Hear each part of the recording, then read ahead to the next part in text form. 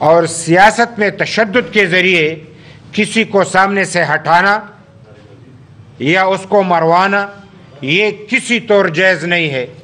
हम शदीद अल्फाज में इसकी मजम्मत करते हैं और हम ये समझते हैं कि अगर ये अफरा तफरी पैदा हो गई तो वैसे भी इमरान खान जंगी की तरफ़ इस मुल्क को ले जा रहा है। और उसने इंटरव्यू में कह भी दिया है कि अगर मार्शला लगे तो मुझे क्या है? मुझे तो मार्शला की कोई परवाह नहीं। तुम्हें इसलिए परवाह नहीं, तुम समझते हो कि या तुम्हारी हुकूमत होगी या किसी की नहीं होगी। हम समझते कि जमहूरियत होगी, पार्लियामेंट होगी आइन होगा, किसी को की भी हुकूमत हो हो, लेकिन मुल्क जो है वो चलता रहे। हमारी और उनकी सोच में फ़र्क है। लोग इस फ़र्क को सबने, समझने से कासिर है। बाहर के वाक़ हुआ, अफसोसनाक वाक़ हुआ उस वाक्य को इसने खुद मुतनाज़ बना दिया। आप अंदाज़ा करें, एक दिन तो ज़रा आराम से बैठो, चुप कर तो बैठो। कुर्सी पे होते हो तो भी बोलते हो। अस्पताल के बिस्तरे पे होते हो तो भी बोलते हो।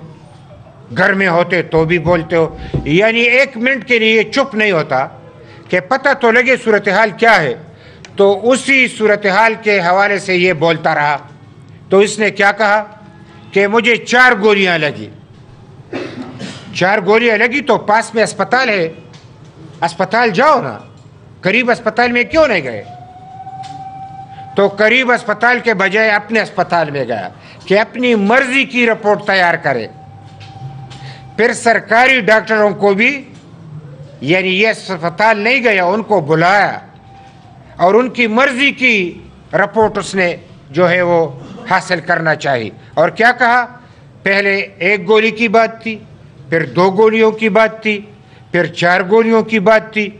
और डॉक्टर्स रिपोर्ट देते हुए डरते भी हैं कि अगर हकीकत सामने आ गई, एक गोली भी नहीं है तो फिर क्या होगा?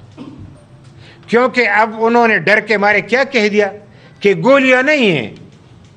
वो जो पुर्जे कहते हैं, आप चरे कहते हैं, या जो भी आप, यानी गोली के कुछ टुकड़े हैं जो इसके बदन में चुप गए हैं। तो हमने पहली दफ़ा सुना कि इन्होंने कहा कि ये तीस बोर है और नाइन एम है।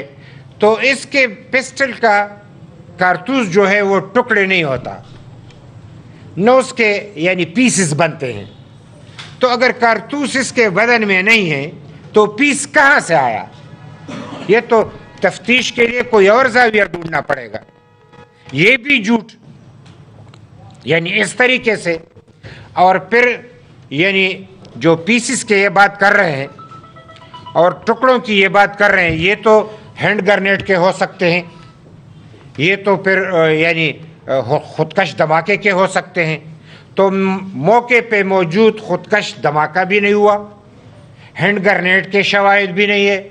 जिसने गोली मारी, उसको पकड़ा गया। अब जिसको पकड़ा गया, उसको कोई सुनने के लिए तैयार नहीं है। भाई, बंदे को पकड़ा तुमने है। तुम्हारे ही जुलूस में था, तुम्हारे ही बंदे ने पकड़ा है। वो खुद जो किस्सा सुना रहा है तो मुझसे इनकारी हो। ये तो खुशकिस्मती है इस मुल्क की, वरना ये न जाने इससे क्या बनाते कि एक मारने वाला जो है वो पकड़ा गया है। अगर ये पकड़ न जाता तो अब भी वो कहता है कि जिसने मुझे मारा है, मुझे उस पर दावा नहीं है। आपको समझ आ रही है? प्री पे प्लानिंग एक बात हो रही है। वज़ीर आज़म पे मुझे दावा है। यानी वज़ीर दाखिला पे मुझे दावा है। और सीनियर जो स्टेब्लिशमेंट का जर्नल है, उस पर मेरा दावा है। अजीब सी बात है, जब तुम एक बंदा पकड़ा गया है, तहकीक करने दो। तहकीक में जो भी सामने आए, उसी पे अमल किया जाए। हम तहकीक के बगैर कोई बात करना, ये मुनासिब नहीं है। और हम ये समझते हैं कि शायद इमरान को कोई मशवरा देने वाला ना हो, और हमारा मशवरा सुनने वाला भी ये नहीं है। हम इनसे ये ज़रूर कहेंगे कि आप ज़रा समर तहमुल से काम लें, कि बात का तो पता चल जाए तुम अभी से, यानी इतनी सब्र नहीं कर रहे हो, इसलिए नहीं कर रहे हो कि तुम आर्मी चीफ की जो यहाँ पे अपॉइंटमेंट है, ये तुम चाहते हो कि तुम्हारी मर्ज़ी से हो, अपनी मर्ज़ी से कराना चाहते हो, और इसलिए जल्दी कराना चाहते हो, और फिर ये भी कि जल्द इलेक्शन कराया जाए, ये अपनी मर्ज़ी के नतज निकालना चाहते हो। हम समझते हैं कि जो ये तरीक़ाकार अपना रहे, ये बिल्कुल गलत है। ये तरीक़ाकार जो ये अपना रहा, ये बिल्कुल मुनासिब नहीं है। और जब ये वज़ी अजम था तो इसने अपने मर्ज़ी से आर्मी चीफ लगाया। तो क्या ये आज का वज़ी अजम पार्लियामेंट का वज़ी अजम नहीं है? ये अदम अतमाद इन पे मंजूर हुआ तो ये वज़ी अजम आइनी वज़ी अजम नहीं है।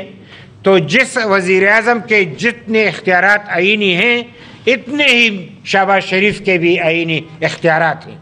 और उस आइनी इख्तियार को इस्तेमाल करते हुए उसको आर्मी चीफ लगाना होगा और वो लगाएँगे। लेकिन इसके लिए उसको इंतज़ार नहीं करना पड़ रहा। और मैं ये एक बात कर रहा हूँ शायद मुझे करनी चाहिए कि नहीं? एक हमारे जो सहाफ़ी हैं एक अरशद शरीफ अरशद शरीफ। असद नहीं अरशद शरीफ की बात नहीं कर रहा हूँ। अच्छा मैं सहाफ़ी की बात कर रहा हूँ। हाँ एजाज सैयद और चीमा साहब का।